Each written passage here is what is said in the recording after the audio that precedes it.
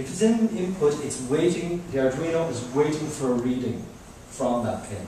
If we say this pin is going to be an output, well then we can link up an LED or a light to it, a fan to it, a motor to it, so we can send power to it, so we turn it on or turn it off. If this button is pressed on digital pin 0, turn on the fan that is um, connected to digital pin 2.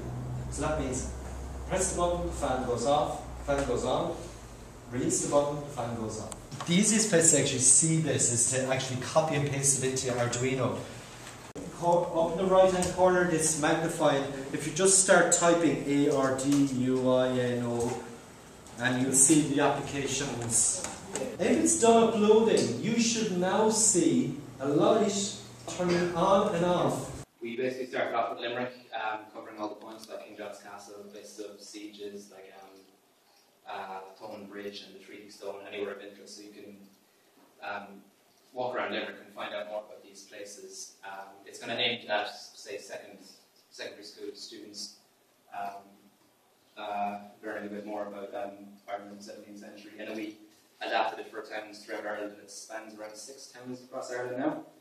Um, and uh, it can display audio and text elements, which is kind of the basic uh, um, Layar elements that you get in. Animations and play movies and all that kind of thing like that, which you've probably seen from videos yourself.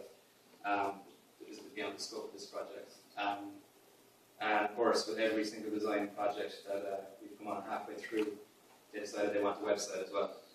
So we have to lump in a website then too, um, and you can find that at irelandprestige.com. It just provides uh, offsite access to POIs, so if students, um, you know, in a classroom environment, they want to go and find out more about the POIs, um, and they can, it provides a little further bit of information. Um, very simple website. But, but we know that we can encode um, numbers with add extra letters, bring up the base, and you get a shorter code. So if you bring it up to base 25, you just make it shorter. There are world codes that use base 30 or something. They use, or you could use um, upper and lowercase letters, but that wouldn't work for a postcode.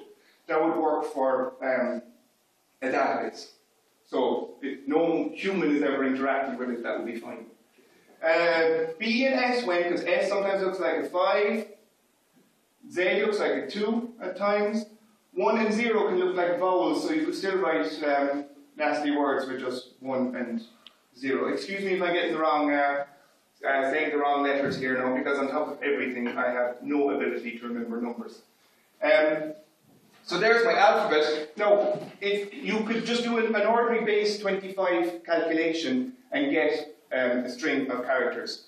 And all you do here is a simple string replace. Just replace these characters, or in a lot of code, just look for the position 22 when you have your letter here. You don't even have to do base calculations. So